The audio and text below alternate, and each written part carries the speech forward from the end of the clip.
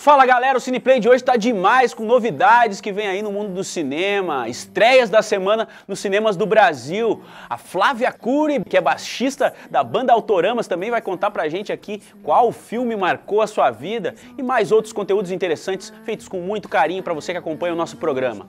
E essa semana estreia no Brasil Amar, Beber e Cantar, o último filme dirigido pelo francês Alain Resnais, um dos grandes mestres do cinema mundial, que faleceu no dia 1 de março desse ano aos 90 91 anos de idade. Mas antes de falar dessa obra de lançamento póstumo, pelo menos aqui no Brasil, vamos dar uma refrescada na memória e lembrar alguns filmes marcantes que ele dirigiu. Olha aí.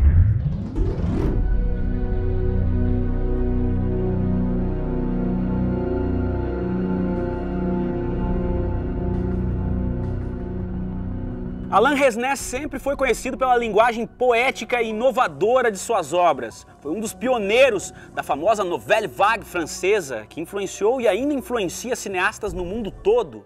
Entre seus maiores clássicos está Hiroshima, Meu Amor, o seu primeiro filme, lançado em 1959. Foi produzido na França e no Japão e conta a história de amor entre um arquiteto japonês casado e uma atriz francesa, também casada, que vai para Hiroshima em época de reconstrução para gravar um filme anti-guerra. Eles compartilham diferentes opiniões sobre a guerra e trazem à tona segredos de suas vidas, contados através de flashbacks inovadores para a época em que o filme foi lançado. Hiroshima Meu Amor ganhou o prêmio da crítica no Festival de Cannes em 1959 e também recebeu indicações para o Oscar. Uma bela estreia de Resné.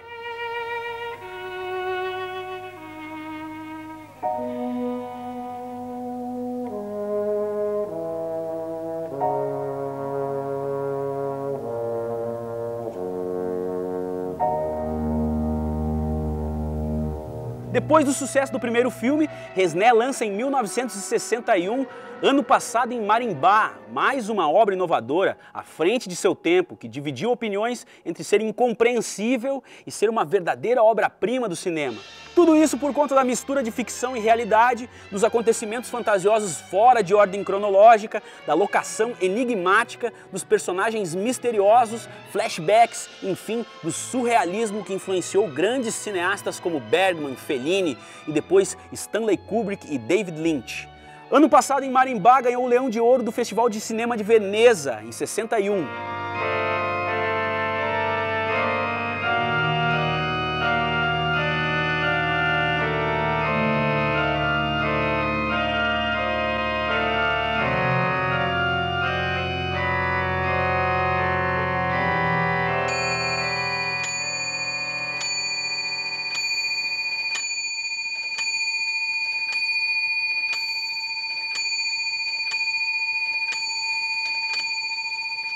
Pulando agora para os anos 2000, depois de vários outros grandes filmes lançados, um que podemos destacar aqui é o também premiado Medos Privados em Lugares Públicos, de 2006. A trama é baseada em uma peça de teatro de mesmo nome, escrita pelo britânico Alan Ayckbourn, que envolve seis personagens solitários e carentes cruzando aleatoriamente seus caminhos. Uma curiosidade interessante é que esse filme ficou em cartaz durante três anos consecutivos no Cine Belas Artes, em São Paulo, que felizmente voltou a funcionar nesse sábado, após três anos de fechamento. Algumas salas ainda estão sendo reformadas, por enquanto apenas três estão funcionando, e um dos filmes em cartaz para essa reinauguração é Tchananan, Medos Privados em Lugares Públicos, de Alain Resné. Uma ótima oportunidade de assistir na telona. É, Samir. Non, ce que je disais, c'est que le problème des femmes, attention, j'ai rien contre l'espèce féminine, c'est qu'elles ne comprennent rien aux besoins de solitude de l'homme. C'est pas vous qui allez dire le contraire. L'homme est un animal solitaire, enfin, de temps en temps. J'ai des bêtises? Pas du tout, monsieur. Hmm. Le mâle a besoin d'être seul. La femelle, jamais. C'est pour ça qu'il y a très peu de femmes euh, astronautes ou chauffeurs de taxi. Ou gardienne de phare. À la différence de l'homme qui est un excellent gardien de phare. D'un autre côté, aucun homme n'est une île. C'est vrai aussi. Depois de mais esse sucesso de público e crítica, Resné lança Ervas Daninhas em 2009, ano em que recebe um prêmio especial no Festival de Cannes pelo conjunto da obra. Esse filme é uma adaptação do livro L'Incident, escrito pelo francês Christian Gailly, sobre um romance que acaba acontecendo entre uma mulher assaltada e um senhor casado que encontra a carteira dela com foto jogada em um estacionamento. Os personagens são vividos por parceiros de longa data de Resné. É o sétimo filme que ele dirige André Dossolier e o nono que ele trabalha com Sabine Azemar. Mais uma bela e inovadora obra do mestre.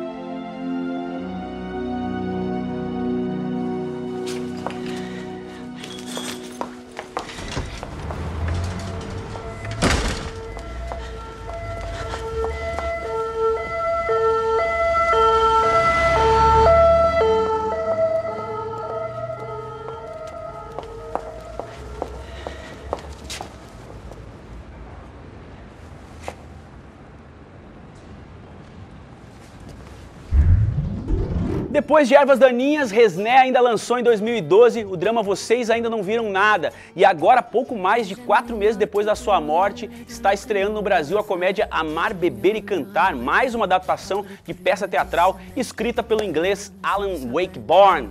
Ainda conta o drama que um grupo de amigos idosos que fazem teatro amador vive ao descobrir que um dos integrantes está doente e com os dias contados para morrer. Esse filme ganhou o prêmio de inovação artística no Festival de Berlim nesse ano, marcando o lançamento de mais uma obra inovadora do mestre Alain Resnais. Olha o trailer. Ah, Georges. Ah, Georges. Bonsoir. T'étais où Je, je, je suis passée chez Georges. Je te l'avais dit. T'étais où Je suis passée chez Georges. Tu vas y retourner alors Revenir avec ce Georges, c'est ça C'est vrai, je t'ai suivi, oui. Tu voulais voir si Georges et moi on était en train de s'enfiler comme des lapins Mais quoi Mais pas du tout, c'est juste... euh, Quoi C'est quoi Mais c'est rien, rien, je te dis rien Oh non, c'est pas le moment. Je m'en fous complètement, mais pourquoi tu lui donnes pas ton portable à cette pute Qu'au moins je puisse dormir Je le lui ai donné. J'ai l'intention d'aller passer quelques jours à Tenerife. Ah, c'est sympa. Vous partez tous les deux Non. Qui t'a invité Georges. Georges et Catherine Ouais. Et pas toi Non. Et tu sais qu'il a aussi demandé à Catherine Catherine ne part pas en vacances avec Georges. Non, c'est ce que Monica me Ni disait. non plus avec Monica. Absolument pas. C'est moi qui l'emmène. Comment tu le sais Mais parce que c'est moi qui pars en vacances avec Georges. Ah d'accord. Ma femme qui se tire aux Canaries avec un autre mec, mais qu'est-ce qu'ils vont dire les gens? Merde, saloperie. aimer, boire et chanter, c'est notre raison d'exister. Il faut dans la vie un brin de folie. C'est plutôt le calme plat depuis longtemps. Comme ils disent dans les westerns, ça fait longtemps que les caravanes ne passent plus par ici. Oh. La prochaine fois, on ira au cinéma. Amar, Beber e Cantar estreando nos cinemas do Brasil essa semana. O artista vai e a obra fica para que muitos ainda possam curtir e aprender com ela. Salve Resné! E outra estreia da semana no Brasil é Mesmo Se Nada Der Certo, drama musical com Kyra Knightley e Mark Ruffalo. É sobre uma cantora que se muda para Nova York, termina o namoro, começa a cantar em bares e acaba encontrando um produtor de discos desempregado que acredita que ela pode se tornar uma estrela. Ah, esqueci de falar que o namorado que ela terminou é um rockstar interpretado por Adam Levine, vocalista da banda Maroon 5. A gente tem um material especial da produção para mostrar para vocês aqui. Olha só. Check it out, your boyfriend just wanted music gone.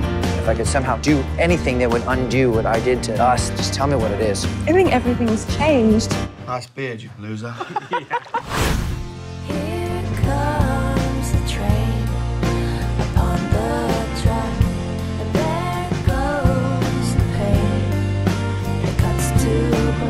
I suddenly realised that I'd pretty much died in everything that I'd done for about the last five years, and I thought I'd really like to do something where I either don't have to go through some emotional turmoil or die. I found this one incredibly hopeful. That's some song you got there. I promise you it could be a big hit. Plus, you're beautiful. Sorry, what, what's beauty got to do with anything?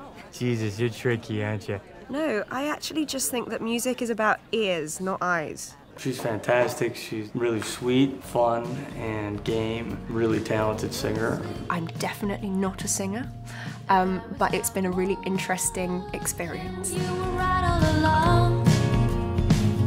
Something's gotta change. Mr. Mulligan, this is Distressed Records. Your 10 o'clock meeting started 15 minutes ago. I played Dan, the A&R man, who partnered up with an African-American cat and had a lot of success in the hip-hop world. So what are we doing here? It's not working. You gotta go. You got your demo? No, You don't have a demo? no. Well, do you have MySpace or Facebook or anything? like- MySpace? No, I, no, I don't. I just, I, you know, I told you I write songs from time to time. What What do you write them for? Do you mean what for? For my pleasure, and for my cat. Oh, really? Does he like them? Mark was one of the big reasons that I wanted to do this film. I mean, I've been such a massive, massive fan of his work for, for years, and I just wanted to get the opportunity to stand up close to him and see what he does and see how he rolls. And he's just one of the world's loveliest people, just a wonderful, wonderful man, and interesting and so talented. And you know, so it's been it's been a total pleasure. Don't you know anything about your father? Yeah, I do. I know what mom says. What does mom say?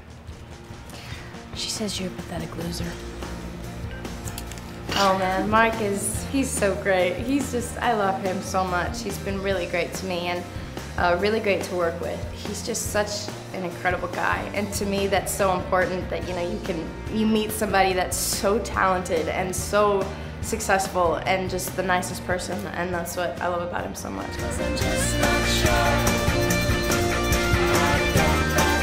The music was the easy part for me because I'm used to that. But acting is not. Is everything just right? Don't want you thinking that I'm in a hurry. The first thing I did, of course, was scour the earth, asking everybody I possibly could for advice on how to act. All right, here we are. We hope you like. This is unbelievable. You're a total rock star. You're Dave Cole. Would you mind taking a photograph? I don't know what to say. I loved him like a fool. Kind of the common theme amongst any sort of advice I got was listen. It just happened. I. Maybe it'll go away. Maybe it'll fade. I, I just. I have to see it through. Everybody involved with this movie has been so sweet. Take my hand, Best laid plans, sometimes it's just a one night stand. It is a pretty daunting thing going into this whole new world with celebrated incredible actors and it's one of those things where I think to myself what am I doing here you know? But they've all made me feel really comfortable and really at home. Feeling that way allows me to, to do my best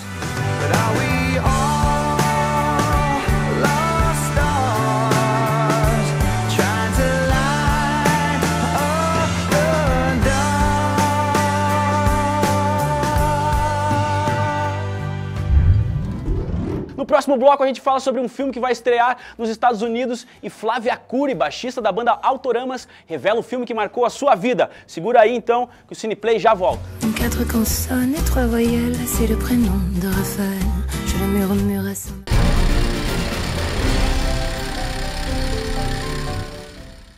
É isso aí, agora Flávia Cury, baixista dos Autoramas, vai revelar pra gente aqui qual filme marcou a sua vida. Olha só.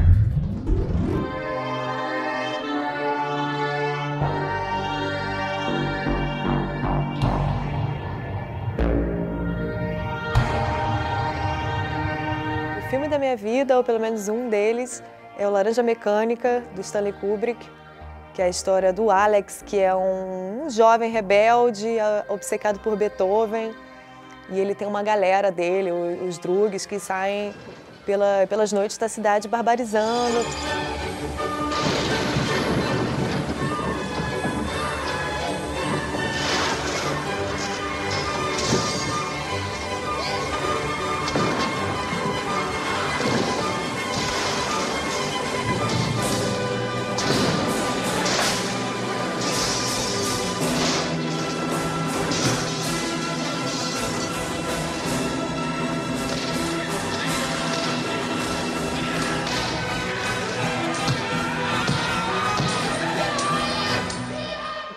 Mais me marcou nesse filme é a direção de arte, que é incrível. Esse bar moloco, os cabelos dos personagens são loucos, as mulheres usam perucas loucas, azuis e laranjas.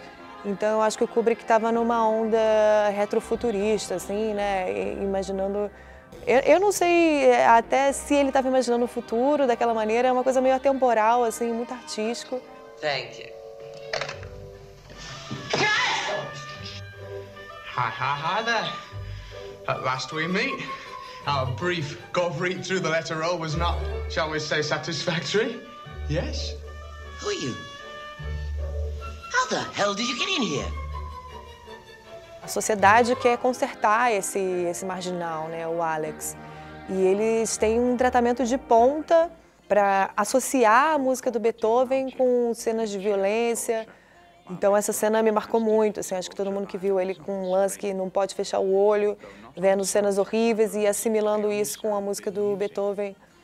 Então ele fica curado, assim, mas de uma forma totalmente física. Ele, ele, quando ele, quando ele ouve Beethoven, quando ele vê uma cena de violência, ele começa a passar mal. Então ele para de fazer, não porque ele ficou bonzinho, mas porque aquilo faz mal para ele.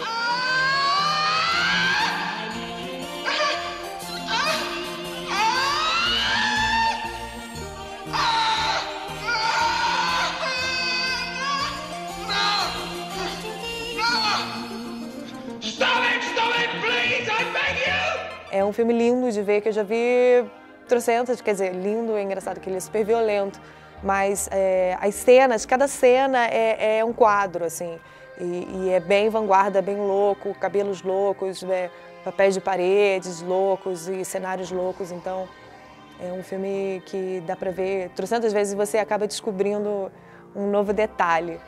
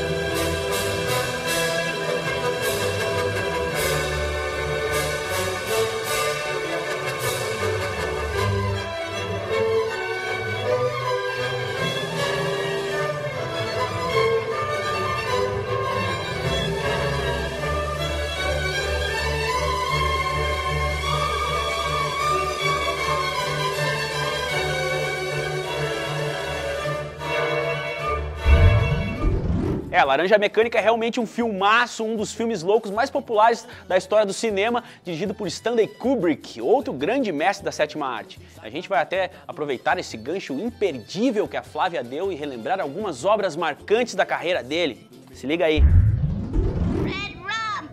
Red rum! Red rum!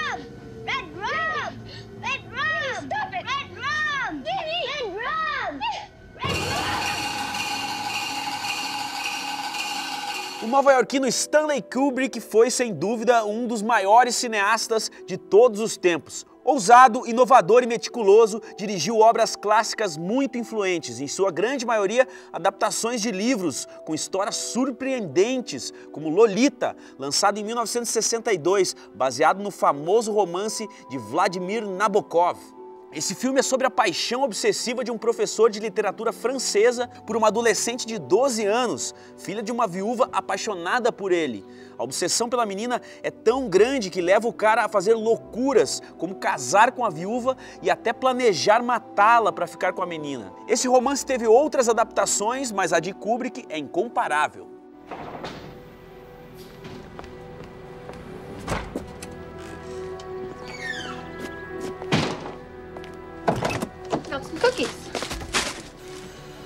Some change. I want to call mother in the hospital. What's the number? Get in the car. You can't call the hospital. Why not? Let's get in the car. Slam the door. Why can't I call my own mother if I want to? Após o sucesso de Lolita e Doutor Fantástico, Kubrick lança em 1968 um dos maiores clássicos da história do cinema, 2001, Uma Odisseia no Espaço. Uma obra-prima de ficção científica completamente inovadora para a época, com história inspirada em partes no conto A Sentinela, do britânico Arthur Clarke, que também foi co-roteirista do filme e coautor do livro. Trata de temas como a evolução humana, tecnologia, vida extraterrestre, inteligência artificial e é dividido em grandes seções, como a Aurora do Homem, a nave AMT-1 indo para a Lua, a missão Júpiter e a nave espacial adentrando no universo paralelo além do infinito. Tudo isso com muita música, pouco diálogo e efeitos especiais inovadores que renderam uma estatueta no Oscar. Simplesmente genial!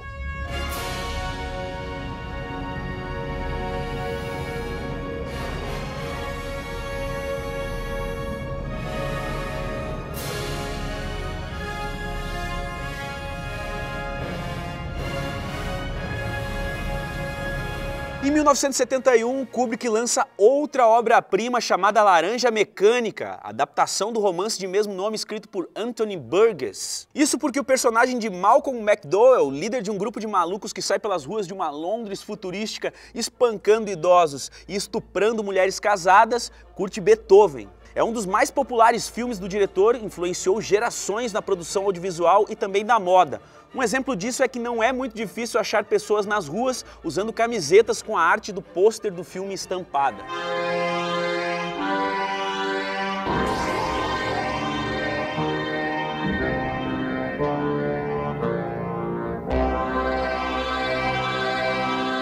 Depois de Laranja Mecânica e o drama de guerra Barry Lyndon, lançado em 75, Kubrick lança O Iluminado para começar os anos 80 chutando a porta, ou melhor, dando uma machadada na porta da indústria cinematográfica. Baseado no livro de mesmo nome de Stephen King, O Iluminado é um dos filmes de suspense e terror mais aclamados de todos os tempos, com atuações incríveis de Jack Nicholson, Shelley Duvall e do garotinho Danny Lloyd. Eles interpretam uma família que aceita cuidar do misterioso e longínquo Hotel Overlook fora da temporada de funcionamento, para que o escritor Jack Torrance, personagem de Jack Nicholson, consiga escrever. Com o passar do tempo, a clausura e o comportamento estranho do filho com visões sobrenaturais provocam nele uma ira descontrolada e assassina.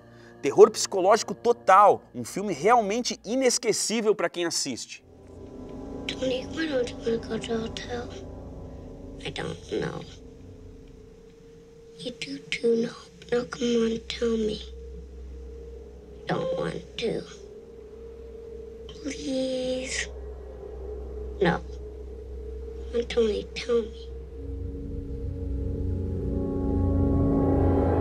Último filme de Kubrick foi De Olhos Bem Fechados, lançado em 1999, ano do seu falecimento, aos 70 anos de idade.